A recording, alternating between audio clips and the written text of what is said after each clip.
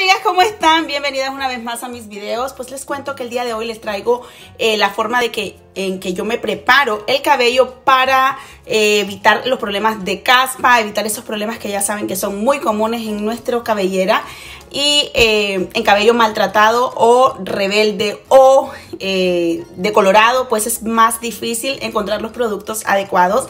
Así que el día de hoy les traigo esos productos que uso y la forma en que me los aplico ok quédense conmigo para que vean más de esto. Y lo primero que vamos a hacer es desenredar el cabello. Yo acabo de salir de la ducha tal cual entonces me voy a desenredar el cabello. Para ello utilizo este tipo de cepillos con cerdas así un poco abiertas para evitar que se me maltrate el cabello. Como ven está muy muy suave por el producto que estoy aplicando durante la ducha.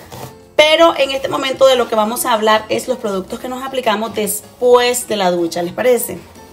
Entonces vamos a desenredar muy muy bien el cabello sin maltratarlo. Recuerden que el cabello mojado está súper susceptible, está súper eh, frágil, entonces vamos a tratarlo con mucho cuidado.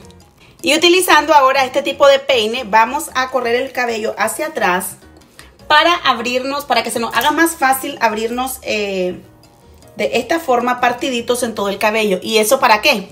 Para poner de este producto milagroso que me ha funcionado muchísimo, es de Head Shoulders. Este es un eh, elixir. Esto te ayuda riquísimo a mantener el cuero cabelludo limpio, libre de caspa, libre de toda suciedad.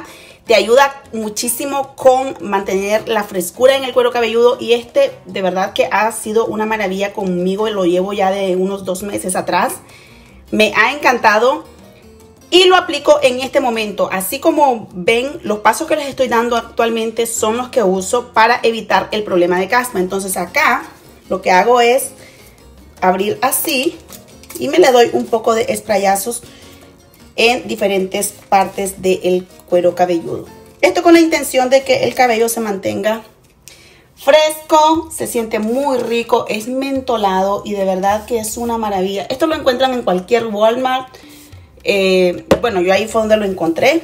Le hacemos unos pequeños masajes también aplico de esto en la parte del centro, porque estas son mis áreas como donde se me afecta más el problema de caspa.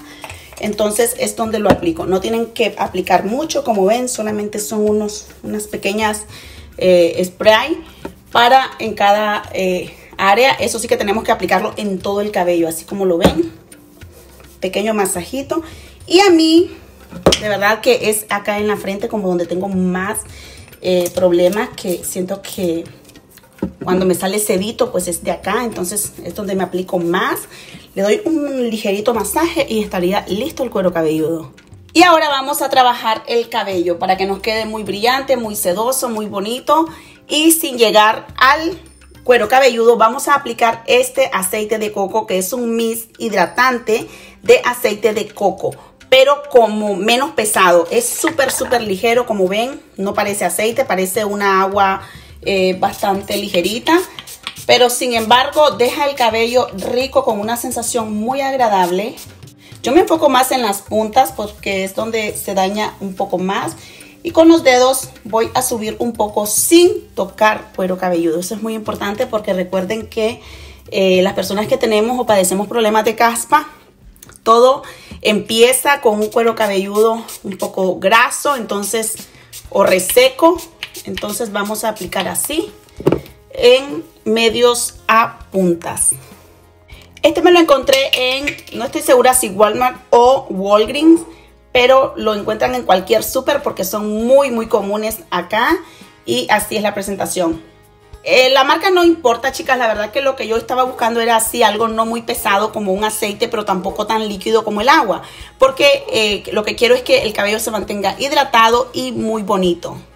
Ahora vamos a pasar a ponernos de esta marca Monet. Ayuda muchísimo con eh, el frizz. Evita que se te esponje muy rápido el cabello. Entonces yo voy a aplicar de esto, pero solamente un poco no voy a aplicar mucho en cada área del cabello. Y, lo mismo de medios a punta. Por ahí obvio estaba gritando. Así que por favor, disculpen. Aplicamos otra esponjadita por aquí. Entonces vamos a poner esto así de lo más rapidito, de lo más sencillo. Esto es para evitar que el cabello cuando se seque que quede con mucho frizz. Esto ayuda. Y para finalizar esta rutina voy a utilizar lo último.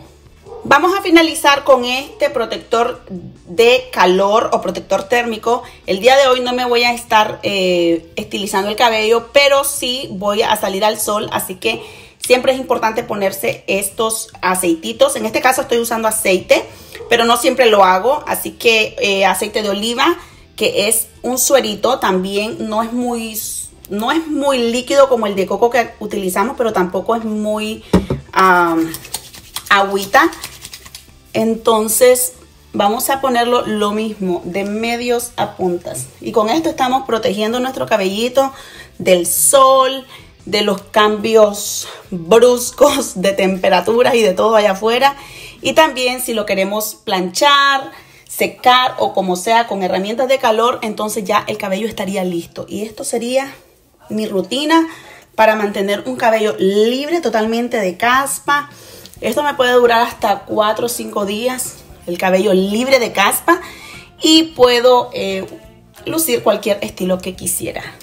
Y de esta forma, amigas, tenemos una cabellera muy bonita, muy larga, sobre todo hidratada, cuidada y que nos puede hidratar lo que queramos para lavarnos entre estilo y estilo.